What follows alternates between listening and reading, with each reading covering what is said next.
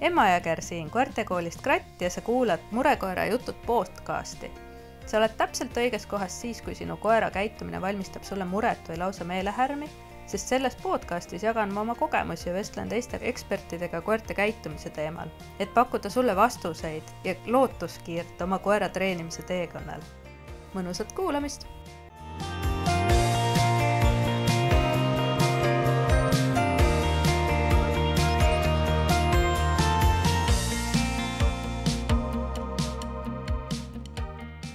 tahan ma rääkida ühest hästi-hästi olulisest asjast. kui on üks nõuanne, mida ma võiksin anda, siis see on see, millest ma täna rääkida tahan.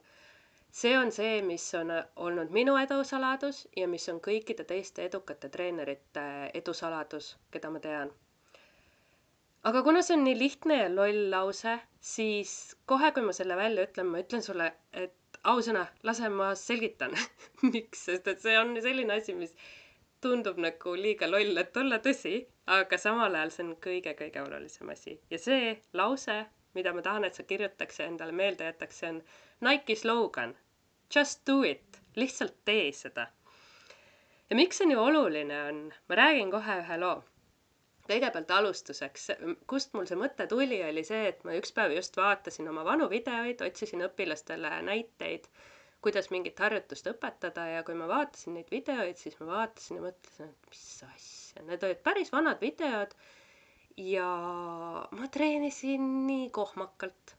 ma tegin nii palju lolle tehnilisi vigu, ma olin valinud nii valesti oma varustuse, aga mitte nii valesti, et asi välja poleks tulnud, ei, mitte seda, lihtsalt ma tänasel päeval ma teeksin nii palju asju teisiti, ma valiksin ma paneksin target'ile kindlasti libisemisvastase aluse peale, ma tegelikult enne shape iksin koerale tugevamalt selle asendisse tuleku, ma jälgiksin rohkem oma kehakeelt, väga palju asju.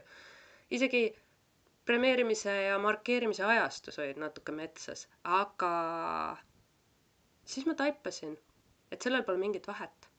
sellel pole mingit vahet, ma võin sedasama videot kasutada õppevideona ja saata selle oma õpilastele sellepärast, et Äh, see on piisav. su trennid ei pea olema täiuslikud. Nad peavad olema lihtsalt piisavad. see tähendab seda, et äh, mida rohkem trenne sa teed, seda rohkem sul tekib tegelikult kogemusi. ja läbi kogemuste saab ainult vilumust tulla, et jah, ühest küljest kõik teavad seda, et kogenud ja osav treener suudab vähemate kordustega saavutada oma eesmärgi sest et ta oskab treenida puhtalt ja ilusti, aga kuidas see osav ja kogenud treener tekib? üks osa on sellest kaasasündinud talenti, aga teine osa on harjutamist. ja harjutamine tähendab seda, et sa teedki alguses valesti. iga inimene, kes on õppinud mõnda muusikainstrumenti, teab, kuidasmoodi alguses see ei kõla mitte kuidagimoodi selle moodi, nagu see olema peaks. iga inimene, kes on esimest korda kooki küpsetanud, teab, et see esimese hooga sa võid üritada selle retsepti järgi teha ja ikka tuleb nagu valesti välja. see on iga asjaga nii ja nii on see ka koera treenimisega. ja see tegutsemise äh, tardumus on minu meelest kõige suurem takistus ja millest see tekib? ma näen hästi palju tegelikult seda, et need mõtted on korduvad ja ma kirjutasin isegi enda jaoks välja mõned need ja ma mõtlesin, et ma räägin sinuga need lahti natukene.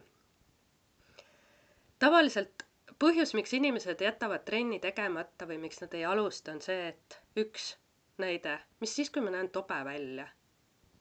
kuskil kuklas on see, et mida teised arvavad, kõik saavad teada, milline koba ma olen. võib-olla keegi isegi tuleb, ütleb mulle midagi selle kohta mul tuli kohe meelde üks lugu enda esimese koera Kassuga. ma olin täpselt selline päris, päris alustav koera treeniv inimene, ma ei olnud mingi treener, aga ma olin koeraomanik, kes proovis esimesi kordi treenida oma koera ja ma mäletan, et ma olin keset teed, mõlemal pool sõitsid autod ja seal oli see saareke ja ma teadsin seda, et äh, Kassu oli hirmus, hirmus tubli ja ma nägin, et mu ümber olid võõrad inimesed ja mul oli täiega hirmus, ma kartsin teda kiita, sellepärast et ma kartsin, et äh, ma teen endal kuidagi margi täis. aga ma otsustasin, ma mäletan nii hästi seda momenti, see oli esimene kord elus, kus kohas ma otsustasin, et mul on savi sellest, mida need inimesed arvavad, sest et see on minu koer, päeva lõpuks ma lähen selle koeraga koju, mitte nende inimestega. ja ma mäletan seda, kuidas ma hästi rõõmsalt kiitsin seda kassut, andsin talle maiuseid ja mitte kedagi ei huvitanud, keegi isegi ei vaadanud mu poole, ma ei teagi, mida nad arvasid päeva lõpuks, aga mul endal oli see esimese hooga nii hirmus, aga ma võin öelda sulle, et iga kord, kui ma seda tegin, iga kord läks see lihtsamaks. Ja sellepärast ma olen tänase päevani kandnud endaga seda, et kui ma tunnen ära mõnikord, et mõne asja tegemine on minu jaoks ebamugav, hirmutav, piinlik siis ma üritan selle esimese korra nii kiiresti tehtud saada, kui saab, sellepärast et kui see on tehtud, siis see on tehtud. ma juba tean, mida oodata ja järgmine kord tuleb ilmselt paremini välja ja mõnikord tuleb esimesel korral ka päris ilusasti asi välja. siis teine asi, mis tihtipeale inimesi takistab, on see, et aga mu koer ei võta maiuseid väljaspool kodu. see on väga levinud probleem, aga ma kohe tulen selle juurde tagasi, ma loen siit need järjest ette kolmas punkt, mis on, et ma ei tea, mida teha ja ma ei tea, kuidas teha, siis ma igaks juhuks ei hakka treenima, äkki ma teen valesti. või siis ma proovisin küll, ma tean, kuidas teha, ma tean, mida teha, ma proovisin, aga meil ei tulnud see välja või see meetod ei töötanud meie jaoks või mida iganes. või siis ma elan liiga raskes keskkonnas, siin ei ole võimalik seda teha selliselt. või siis äkki mul ongi selline koer, äkki ta ongi lihtsalt loomu poolest närviline või äkki ta ongi natukene otu ja noh, polegi tegelikult lootust seda käitumist muuta.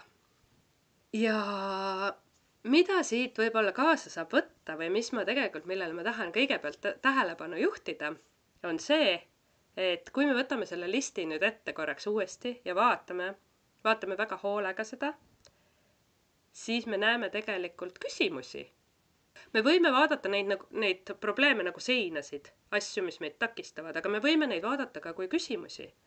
ehk siis, kui äh, ma juba natuke rääkisin, kuidas oma seda enesekindlust tõsta, on ju, et kui läbi selle, et sa harjutad ja proovid, siis sul tegelikult see enesekindlus kasvab, eriti kui sa tead, mida sa teed ja miks sa teed.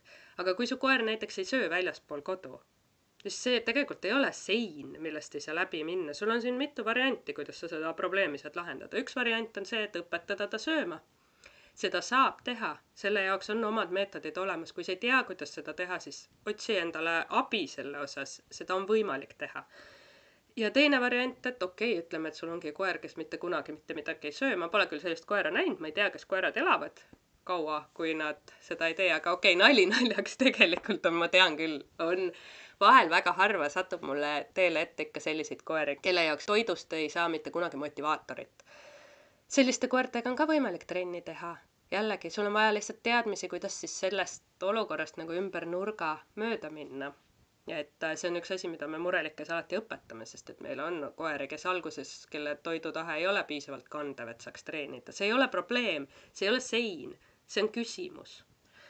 või siis näiteks äh, see, et äh, sa ei tea, mida teha ja kuidas teha. see ei ole sein, see on küsimus. kui sul on küsimus, et sa ei tea, mida teha, sa ei tea, miks teha, sa ei tea, kuidas teha, otsi endale abi selles mõttes minu meelest on selle jaoks on kõige paremad äh,, sorry, et ma selle välja ütlen, aga minu meelest on selle jaoks kõige paremad asjad veebikursused, teemaspetsiifilised veebikursused, sest et kui ma olen käinud väga paljudes erinevates trennides, nendest kõikidest asjadest on mulle kasu olnud, aga kõige parema tervikpildi probleemi lahendamisest annavad veebikursused, sellepärast et vaata, seal on, sa saad omas tempos ja sul on kõik peo peal olemas, kogu see tervikpilt, kõik need pisikesed komponendid, et ütleme, kui sul on näiteks reaktiivne reaktiivne koer ja sa võtad reaktiivsetele koertele mõeldud kursuse, nagu meil murelikud algajad on, on ju, siis seal on kõik algusest kuni lõpuni välja, sul on kõik tükid seal olemas, mõni tükk on sul võib-olla juba praegu teada, aga need, kõik tükid on olulised selleks, et sa oma eesmärki saavutaksid. Ja samamoodi näiteks mulle õudselt meeldib, et, et kui muidu igasugustes trennides õpetatakse, noh näiteks kuulekuse trennides õpetatakse kõiki oskuseid, siis veebikursuste näol on võimalik võtta endale teema spetsiifiliselt, näiteks ainult kõrvalkõnni veebikursus ja õppida seda kõrvalkõndi tõesti hästi õpetama, seal on kõik need väikesed tükid ja komponendid olemas, see on ülilahe. ehk siis need vastused on kuskil olemas, sul on vaja lihtsalt leida üles see koht, kus kohas need vastused on sinu jaoks ja siis sa tead, mida teha ja sul ei ole enam vabandust, et mitte teha. siis äh, neljas oli see, et ma proovisin, aga see ei aidanud. vot siin on nüüd jälle seesama asi, et proovisid mida? miks see ei aidanud? minu kogemus on selline, et kui sa midagi tegema hakkad, siis sul alguses ei tule see õigesti välja. mõnikord tuleb, aga mõnikord ei tule ka. ja kui sa pole seda asja kunagi varem teinud, kust sa siis tead, mis sa valesti tegid? kust sa tead, mis sa valesti tegid? Siin on nüüd võimalused, jällegi, see ei ole sein, see on küsimus. kust sa teada saad? variant A on see, et leia endale juhendaja või keegi, kes oskab vaadata sind kõrvalt, anda sulle nõu. variant B on seesama, näiteks veebikursustel ma sain teada, kuidas see nagu tervikpilt on, ehk siis ma näiteks, minul oli kombeks vanasti, ma võtsin igasuguseid Youtube'i videotest mingeid üksikuid harjutusi ja tegin neid mõni tuli välja, mõni ei tulnud ja ma ei teadnud täpselt, kuidas neid nagu kokku komplekteerida, aga kui ma esimest korda võtsin ühe tasulise veebikursuse, ma sain teada, et oo, aga need tükid, need on nagu, esiteks need, neid on võimalik, et kui ühtemoodi ei tule välja, siis saab teistmoodi. Ma sain lõpuks teada ka, milleks need tükid vajalikud on. mis ma teen nende tükkidega, kuidas ma lõpuks sellest maja kokku ehitan, sest et tegelikult kui koera õpetada, siis me alati õpetame talle tükkide kaupa, me õpetame talle, noh näiteks kui me võtame niisuguse ähm, vahva asja nagu see pidulik kõrvalkõnd kuulekuses on ju, siis see koosneb tükkidest. see, et koer oskab sulle kõrvale tulla, see, et ta oskab sul seal kõrval istuda ja püsida, see, et ta oskab vaadata õigesse kohta seda tehes, see, et ta oskab segajaid ignoreerida, see, et kui sa hakkad liikuma, siis ta liigub sinuga kaasa ja hoiab seda asendit õigesti see, kuidasmoodi ta pööretel peab paiknema, see, mida teha siis, kui sa peatud, need kõik tükid, need kõik tükid tuleb eraldi õpetada koerale. Neid ei saa ühe portsuga. ja kui me räägime näiteks murekoertest, siis on täpselt samamoodi, et minu meelest kõige suurem viga on see, et inimesed tihtipeale võtavadki ja hakkavad seda nagu kuidagi, ah, ma lähen koerte keskele ja siis ma harjutan ja siis noh, näed, ta nägi palju koeri ja siis ma andsin talle palju maiuseid ja seal puudub plaan, et meie murelikes näiteks me tegeleme nende tükkidega et me tegelemegi näiteks konkreetselt sellega, et koer õpiks selle tüki selgeks, et kui ta näeb esimest korda seda ühte konkreetset koera seal kuskil eemal, mida siis selles olukorras teha. kui see tükk on olemas, siis me lisame sinna järgmised tükid, näiteks selle, et mida teha, kui see teine koer liigub, mida teha, kui meie oleme liikumises, mida teha, kui meie oleme pikali asendis ja nii edasi, et koeral oleks need kõik tükid olemas ja kui meil on need kõik tükid olemas, siis me paneme need kokku ja need töötavad palju-palju paremini siis äh, üks asi, mida tihtipeale öeldakse, on see, et äh, okei okay,, aga ma elan liiga raskes keskkonnas, jälle. see kõlab nagu sein, aga see ei ole sein, see on küsimus. see küsimus on, mida ma teha saaksin, mis on minu võimuses. kas ma saan seda kuidagi tükkideks teha koera jaoks? kas ma saan kuidagiviisi seda keskkonda äh, kas sellel keskkonnal on, kas see on kogu aeg samasugune või on ta mingitel hetkedel teistsugune, näiteks äh, mõnikord on niimoodi, et kui me elame linnakeskkonnas, siis öistel aegadel on vaiksem või siis päevastel aegadel on vaiksem. või äkki ma saan harjutamas käia kuskil mujal, mitte kodu juures, vaid lähen sõidan kuskile mujale autoga ja harjutan. Äh, see on raske asi, mida lahendada, aga samal ajal see, see on palju raskem siis, kui sa võtad seda kui seina ja kui sa võtad seda kui sellist seina, et okei okay,, ma elan liiga raskes kohas, aga ma ei tee mitte midagi sellega. noh, kui sa elad liiga raskes kohas, siis sul ongi variant, üks on see tükkideks võtta selliselt nagu äh,, nagu me murelikes teeme või teine variant on see, et äh, kolid ära. ja kolmas variant on see, et võib-olla sellele koerale konkreetselt ei ole siis see elukeskkond sobiv, see on kõige sellisem probleem, mida noh, need kaks varianti, kolimine või koera äraandmine, need on asjad, millest inimesed ei taha tihtipeale mõelda aga need on asjad, millele tuleb mõelda, sellepärast et kui me oleme koera võtnud ja kui me oleme võtnud selle vastutuse, me peame vastutama lõpuni välja, ka nendel ebamugavatel hetkedel, täpselt nii, nagu kui koer jääb meil haigeks, siis me peame võtma selle vastutuse, me ei tohi vaadata sellele läbi, läbi sõrmede, siis juhul, kui me oleme võtnud endale koera ja tal on meie pakutud keskkonnas liiga keeruline, siis me peame leidma mingi lahenduse, kuidas tema elu kvaliteeti parandada ja ka enda elukvaliteeti tema kõrval. ja siis see viimane, et äkki ta ongi selline koer, äkki ei olegi mitte midagi teha, see on nagu, see on kõige vastikum sein üldse. ma näen seda hästi palju, ma kuulen seda hästi palju, kui ma räägin koeraomanikega, et nii, nii kui inimene võtab selle omaks, et mu koer ongi närviline, mu koer ongi ähm, natukene rumalavõitu, mu koer ongi arrogantne see kõik on tore ja see ei pruugi olla vale, aga see ei aita su koera käitumist muuta mitte ühelgi moel, pigem vastupidi, sa võtad selle niimoodi omaks, siis juhtub see, et sa tegelikult automaatselt sa enam ei otsi treenimislahendusi et ma, ma ise ka, ma tean, et ma mõnikord olen oma elu jooksul, olen selliseid mõtteid mõelnud, mida pikemalt ma olen koeraga koos elanud, seda rohkem mul tekib tunne, et ma tean teda, ma tean ta võimeid ja ma tean, mis on tema puhul võimalik ja mis mitte. Ja ometi olen ma saanud eksida. ometi olen ma, näiteks ma mäletan nii hästi seda, kuidas, kui Meera kartis autosõitu mulle väga paljud inimesed ütlesid seda, et kuule, et äh, see on asi, mis on nagu, sa ei saa sellega midagi teha, see on füsioloogiline ja see on lihtsalt, see ongi asi, et lepi sellega. ma otsustasin panna selle mõtte lihtsalt kõrvale. kui võimaliku variandi, mille juurde ma saan alati tagasi tulla, aga ma panin ta kõrvale ja ma ei mõelnud sellele rohkem. Ja ma tegin just seda, lihtsalt tee seda. ma läksin ja ma treenisin ja ma proovisin ja ma kohendasin plaani ja ma proovisin uuesti, kuni meil tuli see välja, kuni meil tulid esimesed edusammud ja kui meil tulid esimesed edusammud, siis ma vaatasin, et hei, okei okay,, võib-olla ta ongi selline koer, aga mis seal vahet on? sest et praegu see, et ma korraks panin selle riiulisse, selle võimaluse, et ta ongi lihtsalt sihuke koer, tänu sellele me tegime neid trenne ja tänu sellele ma sain teada, et tal saab pisut parem olla ja see innustas mind juba rohkem trenne tegema ja lõpuks me lahendasime selle probleemi ära ja tuli välja, et see ei olnudki, Meero ei olnudki lihtsalt selline koer, kellel hakkab paha olla, kui ta autoga sõidab, vaid tuli välja, et ta on täiesti, täiesti treenitav. aga ma räägin nüüd natukese aja pärast, pärast pausi räägin äh, sellel põneval teemal edasi.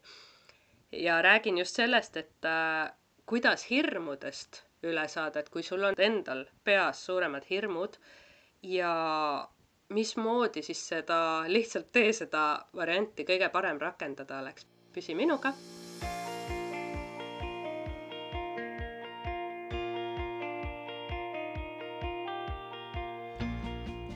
kui sinu koer hakkab tänaval jalutades kergesti haukuma või kipub tirima ja ta ei kuula sind üldse või kui ta ei usalda sind justkui kõige olulisematel hetkedel, näiteks siis, kui sa tahad tal küüsi lõigata või teda pesta kui ta on kodus puhkeajal rahutu, närviline, võib-olla on ta isegi kedagi hammustanud või muul moel ohtlikuks kujunenud.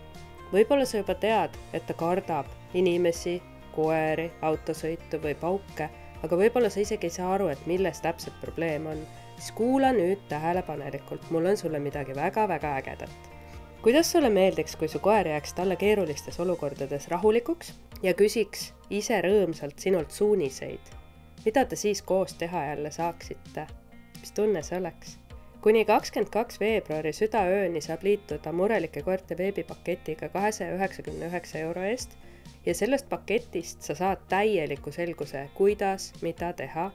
sa õpid selle koolituse käigus muutma jalutuskäike ja igasuguseid muid vajalikke tegevusi lihtsamaks, niimoodi, et su koer tõesti kuulab sind ja teeb rõõmuga koostööd sa õpid vähendama probleemseid käitumisi ja sa saad igal ajal meie käest nõu küsida. tänaseks sa ilmselt juba tead, et sinu koera mure ei lahene ühe nädala või isegi ühe kuuga, vaid see on pikem protsess. Meie teame seda ka ja ma võin sulle lubada, et sellest programmist leiad sa tegevust endale aastateks. see ei ole ühekordne, ühekuuline või kahekuuline investeering, see on pikem tegemine. ehk siis kuni kakskümmend kaks veebruar südaööni saab liituda murelike koerte veebipaketiga kahesaja üheksakümne üheksa euro eest koertekoolkratt.ee ja muide, tasuta kingituseks saavad kõik liitujad sellel perioodil kaasa isuärataja veebikursuse, mis aitab sul oma koera kodust väljaspool treenides maiustest huvituma saada, sest ma tean, et murelike koertega on tihtipeale see probleemiks, et need koerad ei võta maiuseid lihtsalt niisama. Neid tuleb harjutada seda tegema. nii et koertekoolkratt.ee kakskümmend kaks veebruar südaöö, ära siis maha maga, ma ootan sind ja ootan seda, et ma saaksin aidata sul sinu koera mure ära lahendada, et teil oleks jälle koos tore olla.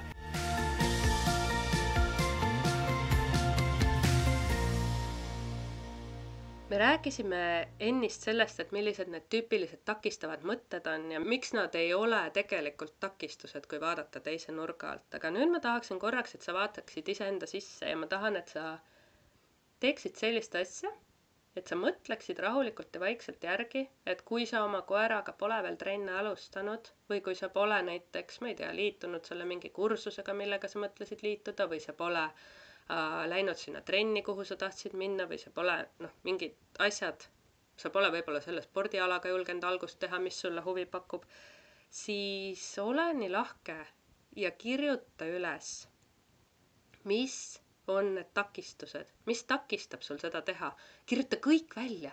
Isegi kui need tunduvad nii loogilised ja elementaarsed, et noh, a la näiteks mu koeral on mingisugune äh, vigastus või mu koeral on mingisugune noh, ma ei tea, mis iganes asi või mul ei ole raha või mul ei ole äh, aega või mis iganes variandid need on.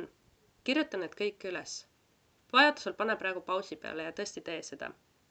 mõtle hoolega läbi, sellepärast et äh, kui sa need üles kirjutad, siis võib vabalt juhtuda, et seda nimekirja vaadates sa avastad, et ka need on küsimused. Ka need on küsimused selles mõttes, et sa saad midagi muuta ja midagi ära teha. noh, ütleme näiteks, et kui sa tunned, et sul ei ole mingi koolituse läbimiseks aega, siis vaata kriitilise pilguga üle, kas see on nii. sellepärast, et koera treenimine näiteks, ükskõik millest me räägime, koera treenimine võtab äh,, seda on võimalik teha niimoodi, et sul võtab see päeva jooksul viis minutit aega ja sa saad seda integreerida jalutuskäigu sisse või koera söögiaja sisse. Kas sa tahad tõesti mulle väita seda, et viite minutit sul ei ole? sest et tegelikult see on nagu, ma tean, ma mäletan isegi äh,, kui ma Fensis õppisin, siis meil oli üks äh,, see on üks koertekool äh, veebis, meil oli üks õpilane, kes oli õnnetu, et tal ei ole aega, ta ei saa, tal on väiksed lapsed, tal ei ole aega, ta ei saa kuidagiviisi oma koera treenida ja lõpuks ta leidis huvitava lahenduse ta hakkas panema omale ebamugavalt varast äratust. Nii varast, et ükski pereliige sellele ei reageerinud, mingi, ma ei tea, ma ei mäleta, kas kella viieks hommikul või, või isegi varasemaks. ja siis, kui ta üles ärkas, siis ta ütles, et ta kõigepealt läks, pesi hambad ära, käis pesus ära, tegi koeraga trenni ära ja siis ta ütles, et tal jäi veel aega ülegi, ta sai rahulikult kohvi juua ja ta ütles, et sellest sai ta päeva tipphetk sest et tal oli muidu kogu aeg lapsed, söök, koristamine, töö, kõik asjad olid hästi kiire tempo ja nüüd järsku oli ta tekitanud endale sellise väikese tema enda oaasi, tema enda rõõmukoha, sest et koera treenimine tegelikult, kui kui sa teed seda südamega ja kui see tuleb, kui, kui sa saavutad seal kogu aeg neid eduelamusi ja märgid oma koera jaoks ära, et vaata, see läks hästi ja see läks hästi, siis see on jube hea selline teraapia endale ka, selline positiivne süst päeva sisse.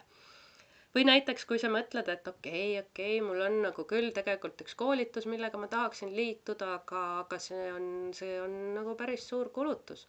Siis koolituste puhul alati, ükskõik äh, millisele seminarile või äh, asjale sa minna mõtled, arvesta sellega, et see ei ole kulu, see ei ole nagu, see ei ole sama nagu, ma ei tea, kinopileti ostmine või krõpsupaki ostmine, see on investeering ja see on investeering sul tegelikult iseendasse. Ja minu kogemus on selline, ma olen hästi paljudel erinevatel koolitustel aastate jooksul osalenud koertega ja minu kogemus on selline, et mida suurema panuse ma iseendale panen, mida rohkem ma oma peapakule panen nii-öelda rahalises ja vaimses mõttes, seda rohkem ma tegelikult pingutan, et teha selle koolituse jaoks endale ka päriselt ruumi. ehk siis, kui ma, ma mäletan, kui ma liitusin nende igasuguste tasuta koolitustega, siis tihtipeale see peegeldus mu pühendumises. ma vaatasin mm, -hmm, ahah, väga tore, võib-olla natuke tegin, sest et ma olen selline inimene, kes, kui ma koolitusel osalen, siis ma ikkagi üritan nagu kaasa teha. aga issakene, kuidas ma pühendunud olen nendele koolitustele, kus kohas ma olen maksnud rohkem selle eest, et äh, kõige kallim koolitus, kus ma osalenud olen äh,, maksis, issand, ma ei mäleta, mingi okei okay,, ma jätan võib-olla ütlemata selle summa, ma päris täpselt ei mäleta, aga see oli ikka tuhandetes ja usu mind, kui selline äh, summa on alla pandud, siis tekib see motivatsioon ka kaasa töötada väga-väga tugevalt. ja mis on tegelikult vahva, on see, et äh, kõik, äh, kõik need koolitused, kui ma võtan nüüd näiteks koertekoolituse teemalised koolitused, mida ma läbinud olen, mida suurem investeering see olnud on, seda suurem on see minu jaoks ka pikas perspektiivis see väärtus, et kui ma mõtlen näiteks kõigile nendele Fensi koolitustele, kus kohas ma olen osalenud, siis kõik need, mida ma olen võtnud kullana, ehk siis selle juhendamise ja tagasisidega, need kõik on sellised koolitused, mille juurde ma lähen ka tänasel päeval veel tagasi, aastaid ja aastaid hiljem. mul on esimesest koolitusest on möödas mingi kümme aastat ja ma ikka veel lähen nende materjalide juurde tagasi. ehk siis, kas see oli kallis? ma ei tea, ma ei ütleks, ma ütleks, et see oli nagu väga-väga odav. Et või kui ma mõtlen nagu selle, sellistele koolitustele, mis on läinud rohkem kui tuhat eurot maksma, siis no need on olnud väga-väga väärtuslikud, need on väga palju minu jaoks muutnud. ehk siis mõtle pigem selle peale ja mõtle ka selle peale, et mis see takistus on, sest et noh, minul näiteks ma mäletan, kui ma väga-väga tahtsin Susan Friedmani koolitusega liituda, see oli minu jaoks sellel hetkel äh, majanduslikus mõttes väga üle jõu käiv summa, ma ei mäleta, mingi kuus sotti oli vist see kursus toona. ja ma mäletan, et ma kogusin selleks raha. kogusin selleks pool aastat raha ja ma mäletan, et ma ei saanud seda poole aastaga seda raha kokku ja siis ma kirjutasin Susanile kirja ja ütlesin talle, et kuule, vaata, lugu on selline, et ma tahan väga osaleda, aga mul ei ole praegu hetkel kohe seda välja käia. ja ta pakkus mulle lahenduse. ja ma sain ikkagi osaleda ja ma mäletan ka seda, et äh, mul oli minu kõige esimese Fensi koolitusega oli näiteks selliselt, et ma muretsesin, ma vaatasin neid pealkirju loengutes ja mõtlesin, ma tean seda kõike, ma tean seda, et noh, et see ei ole võib-olla noh, ma panen nii palju raha, see oli toona minu jaoks, üliõpilase jaoks oli see väga suur summa äh,. mis tegelikult, kui ma nüüd praegu mõtlen, ei ol-, ei ole nagu praegusel hetkel minu meelest üldse suur summa koolituse jaoks, aga aga toona ta oli ja ma mäletan, et ma Deniss Pensi ise soovitas mulle seda koolitust, ütles, et see on asi, mis sind võiks aidata ja siis ma kirjutasingi talle otse ja ausalt oma kahtlused, et ma ei tea, et äkki noh, mulle tundub, et ma võib-olla tean neid teemasid. ja siis ta ütles mulle niisuguse lihtsa lause, mida ma ütlen ka oma koolitusi pakkudes alati, et sa võid liituda ja kui sa tunned, et see ei anna sulle mitte midagi, sa võid mulle alati teada anda ja ma kannan sulle raha tagasi. või isegi ei küsi sult midagi selle kohta ja ma mäletan, et ma, see julgustas mind seda sammu astuma ja tegelikult enamus koolitusi ja koolitajaid pakuvad seda võimalust, et kui ikkagi see, sa avastad, et see ikkagi ei vasta su ootustele, siis sa saad raha tagasi küsida. aga ma ei, nii kui ma sellega liitusin, siis ma tundsin, et issand jumal, ma ei tea mitte midagi koerakoolitusest, sest et tegelikult, tegelikult ma sain sealt nii, nii palju ja kui ma mõtlen nendele takistavatele mõtetele veel, mis nagu, mis mul aja jooksul tekkinud on, siis tegelikult äh, mõnikord on läinud niimoodi, et kui ma olen oma koertega näiteks trenni hakanud tegema ja ma olen mõelnud, et aa, see võib minna halvasti, see võib minna halvasti, mõnikord see ongi läinud halvasti. mul on olnud hetki, kus kohas ma mäletan, ma kindlasti jagan siin podcast'is neid lugusid pikemalt ka, aga minu sellised kõige helgemad hetked on näiteks, ma mäletan, ükskord ma olin ühe jalaga põlvest saati äh, jäise veega täidetud kraavis. niimoodi, et mul olid, ma hoidsin äh, ühe käega hoidsin rattast kinni, ratas oli õhus ja mul olid kaks koera olid ratta ette rakendatud ja nad röökisid ja karjusid, sest et nad nägid just, kuidasmoodi üks rebane kana suus oli jooksnud põõsasse, sihuke muinasjutulugu. ja ja ma mäletan, et kui ma seal olin, ma ei saanud püsti, ma ei saanud hästi oma koeri takistada, ma ei saanud isegi teist kätt selle ratta külge. siis ma mõtlesin küll, et no rohkem pekki ei saa selline trenn minna. ja miks ma seda üldse teen, miks ma siin olen ja mis asi see on, ega aga ma kuidagiviisi lõpuks pusisin sealt välja ja kui ma olin sealt välja pusinud, tead, mis ma tegin? variant A, mida enamus inimesi oleks teinud, on see, et nad oleks mõelnud, et nojah, pekki läks, ma lähen nüüd koju tagasi. aga ma ei teinud seda. ma ronisin sadulasse oma selle mudase ja märja ja lirtsva ja külmunud jalaga.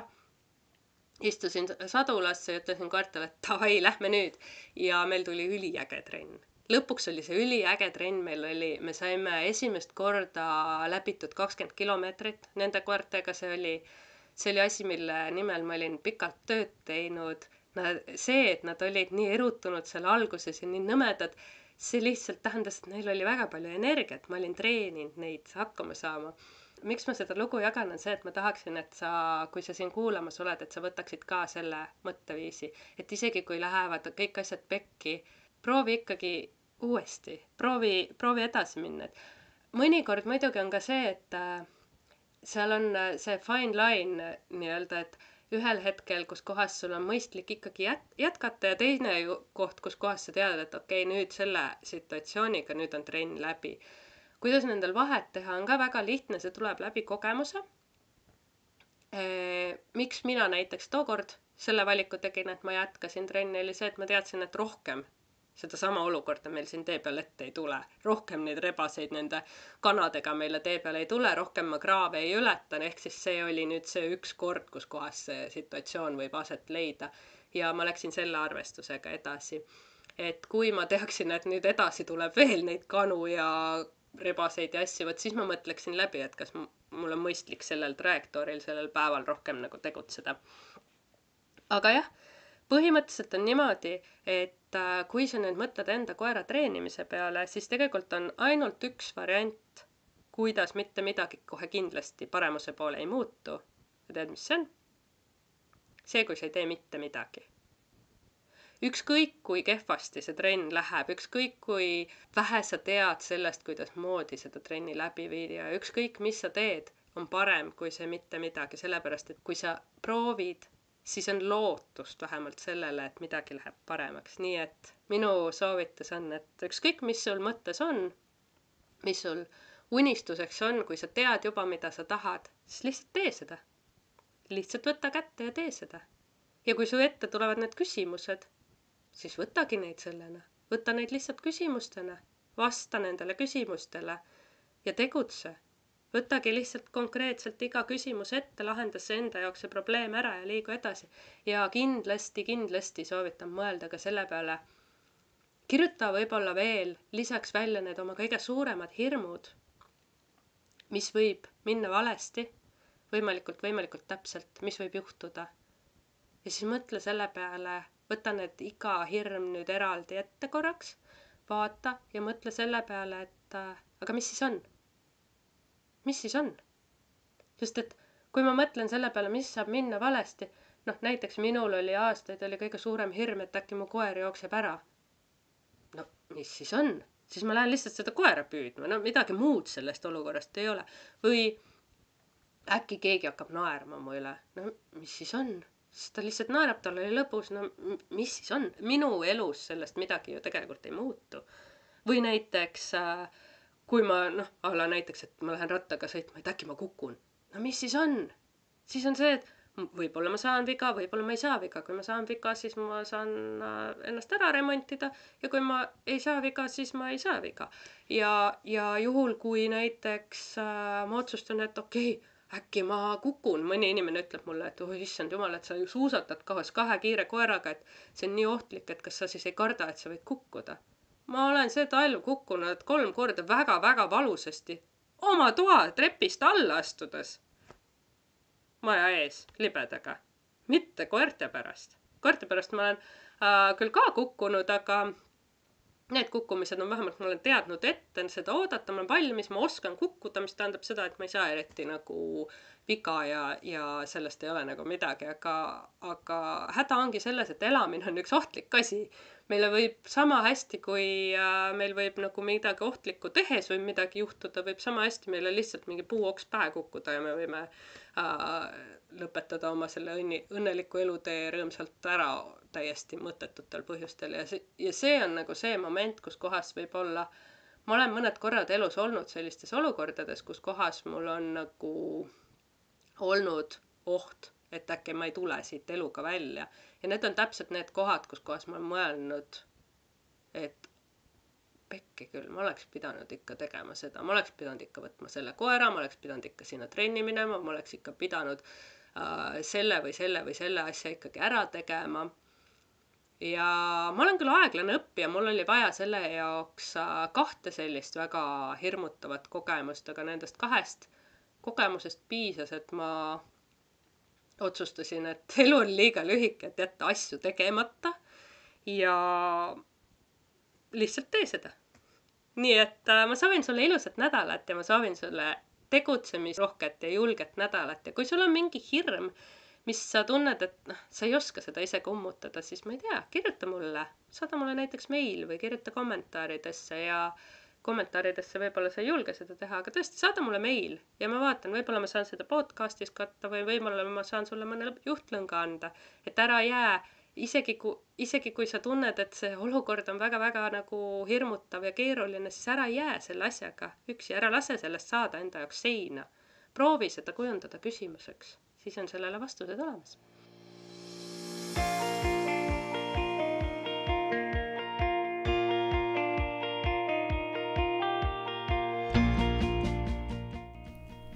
hei, Emma siin aitäh, et leidsid selle aja, et kuulata ja kaasa mõelda sellel põneval teemal.